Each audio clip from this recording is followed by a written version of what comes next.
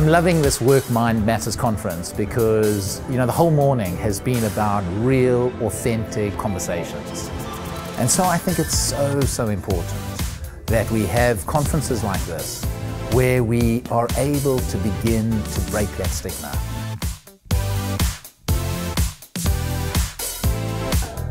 Today has really been a great experience. I know it's the first of its kind initiative and the Work Mind Matters conference and what I've definitely learned today is from an awareness perspective uh, we are maybe not all aware of what is actually happening out there and just to, to start a conversation around uh, this very topical uh, topic at the moment.